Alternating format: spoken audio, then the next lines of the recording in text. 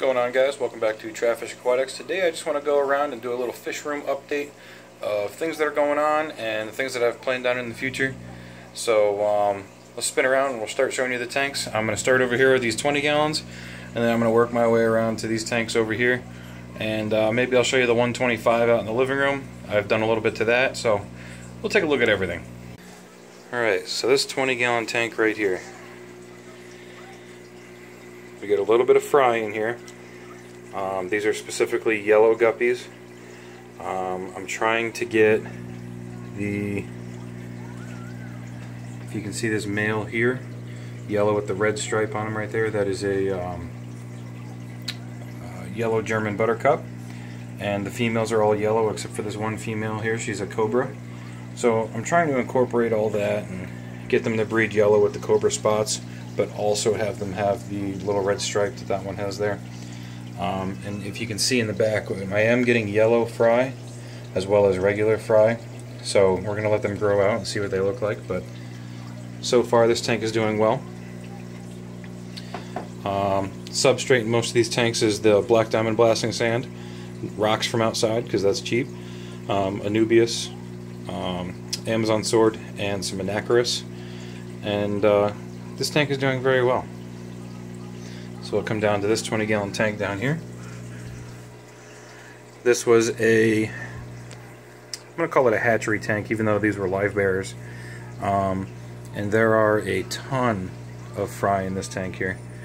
Um, if I go ahead and feed them, you'd be able to see them more. Now you can only see a couple of them right now. Most of them are up by the top.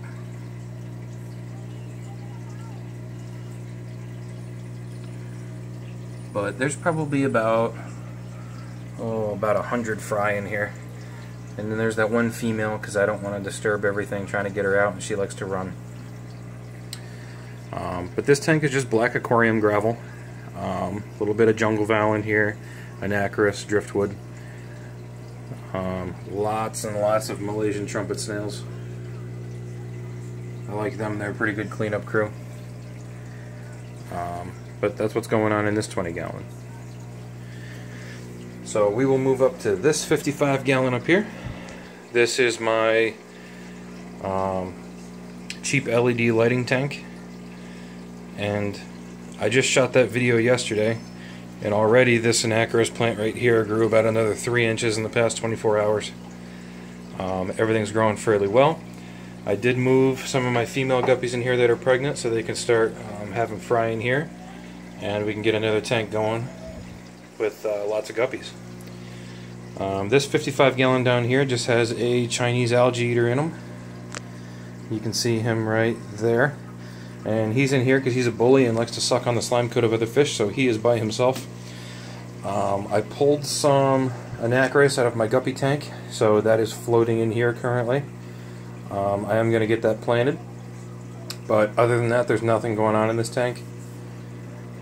So we'll come up to the 29 gallon up here. So this is pretty much just the rescue tank. All these fish in here um, were given to me by somebody who's going to get rid of them and uh, they're just kind of living their life out in here, living their best life. 20 gallon long. This is the axolotl peekaboo. Peekaboo, there he is. He's doing good. I've had him for all oh five to six months now. He's about seven inches long. Um, when I got him, he was only about an inch and a half. And it is a him. We verified. He does uh, have his stuff. So, Peekaboo is a boy and he is doing perfectly fine. Little 10 gallon algae farm over here. This is a guppy grow out and as you can see we had a lot of fry in here and most of them have grown out. Ooh, we got a, this one's starting to develop a yellow tail on him with a black center. I like that. But there's probably about 50 fry in here and they're doing fairly well. Okay, 75 gallon long. A lot of people have never even heard or seen one of these tanks in their life, and I am lucky enough to have one. This is a 6 foot long, 75 gallon tank. Um, and this has some of my goldfish in it. Um, it was mostly Orandas, and the Ryukins that are in there right now were over in that tank, and I moved them over here because I want to use that other 55 gallon for other things. So if we come down here and take a look, I got that sponge filter in here, cycling, that I showed you guys a couple uh, a couple days ago. And uh, these are some of my favorite fish. I love fancy goldfish. Love, love, love them. These guys are what got me into the hobby. And a lot of these guys had injuries. This one here had cloud eye real bad on this eye that's facing us.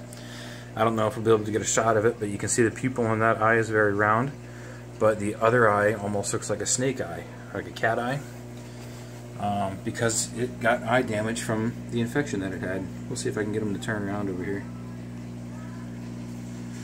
He's got like another two feet to swim. Come on, bud, turn around.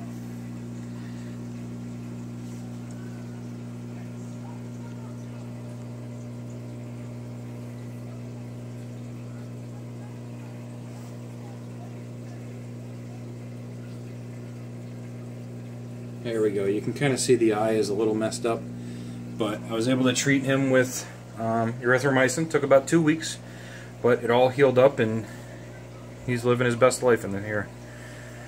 Um, everybody else in here never had anything wrong. This tank did have ick once, but I treated it successfully.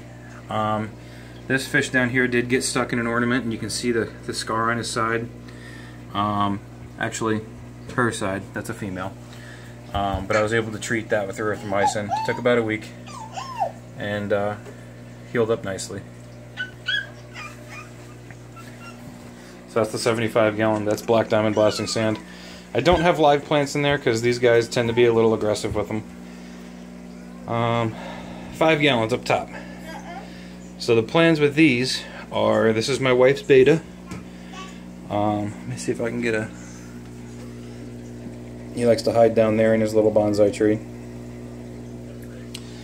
Um, but the other two five gallons, they were my quarantine tanks. They are getting moved. I have a 20 gallon tank that I'm going to set up probably here or here, one of these sides. I'm not sure yet. And the, this five gallons staying, but these two are going. Um, the fourth five gallons down underneath down there. I'm taking the substrate out of those, putting them in the 20 gallon and setting the 20 gallon up and those five gallons I will show you what I'm going to do with them later. Um, so you'll notice that a lot of the plants have been removed from this tank here. Um, a lot of the Anacharis was shedding leaves creating a large ammonia spike and a lot of the fish started dying. Not the babies just the adults. And uh, I wanted to get that stuff out of there as quickly as I could and make sure I didn't lose any more fish. So this tank got cleaned pretty good today. Um, but as you can see a lot of these babies are starting to develop very nice. Now one of the things I was trying to do is I was trying to incorporate, if you can see in that guppy right there, the blue and orange tails. I really like that. You can see up here that's got a blue and orange. Um, but there's lots of blue and orange tails in here. And I actually got a yellow spotted tail in there. So I did notice, oh, there's another one, another yellow spotted. There's two or three of them in there. So what I'll do is I'm going to start, see here's another guppy that's sick down there sitting on the bottom, so I'll get him out and get him in quarantine. Baby shark? Baby shark? That's an albino pleco. Oh yeah. So um, that's pretty much this tank right now. Lots of guppies growing out, really happy. And uh, that's that one. So, future plans. You can see I got this whole wall over here. There's the 125. Got this whole wall over here that I'm not doing anything with. Um, I've got that 55 gallon tank that I resealed. I'm going to build a stand here and do a double stack 55. And then over here I'm going to build another stand and do three, three, and three 10 gallons. And uh, going to have nine 10 gallon tanks for sorting out guppies so that I can sort them by colors and I can get breeding specific strains and specific color patterns. So that's going to be good. It's going to be pretty fun. And then I'll have my two other 55s for anything else. I really am thinking about getting a tank with um, tiger barbs. I really like tiger barbs. And I want to get a big school, like 20 or 25 of them, and just let them swim around. Still debating on it, but that's that. Um, so let's go out and check out the one. Alright guys, here's the 125. Um, everything's growing really well. This is Black Diamond Blasting Sand also. I have it in here with my goldies. Um, this is a six foot tank for those of you who don't know. And this guy right here is about 9 to 10 inches. He's a very large Oranda. Um, I actually rescued him. My large Orandas I had were about 7 8 years old and they ended up passing away. Um, but the plants in here are doing very well. Um, Anacharis, Jungle Val, Amazon Swords, um, Java Fern. These were seedlings that came off of that plant there. I planted them down there and they're doing well. They're attached to that rock. A bunch of different kinds of Anubias. More Jungle Val, Amazon Sword, um, Jungle Val, and Anacharis. And all these stones I got from outside. Um, air stones, three hang-on backs. Nothing super fancy, but this tank is overall very healthy. You got the big Oranda, we got some Lionhead, a Ranchu, and a Bubble Eye in there. Um, and then we have my wife's three telescopes. We got those two right there, and this guy up top. And you also see these little fish swimming around in there. Those are white cloud mountain minnows. I got the golden variety and the regular. And they get along pretty good with the goldfish. No aggression or anything. They're very peaceful. And, uh, you know, it's just a little something extra. Just to see in there. Now there is also a high-fin spotted placosta. There he is. I couldn't see him for the longest time. He's hanging out back there. Uh, this tank was having a pretty good algae problem, and I put him in here and he had it taken care of in about two days. So, pretty happy I have him. Also have some nerite snails. There's one hanging out there. There was just one. Up oh, there he is, under the rock there. Um, there are five or six of them in here, but they hide. They keep the algae under control. And uh, overall, this tank looks pretty good. Alright guys, so that was the update on my fish room of what's going on and future plans. So I hope you enjoyed the video. I know it was just a little vlog that I wanted to do. So um, just give you one quick look around the room here behind me. And those are all my tanks, but there's more to come. I got a lot of stuff planned, so can't wait to show you guys that. And uh, hopefully this weekend or next I'll go out buy the wood, we'll build the stand, We'll get the tank set up. Um, I'm just waiting on a top frame to get the other tank set up and then I'll be able to get that rack built and the 10 gallons. I don't have the 10 gallons yet, but 10 gallons are inexpensive. Um, hopefully I can find used ones. But if not, they're only like 15 bucks new, so I'll just start getting them slowly. But that's it for this video, guys. Um, a lot of big things planned. Stay tuned, keep in touch. If you like my videos, share them. Like the videos. Um, put a comment down below. You know, I respond to every comment I get.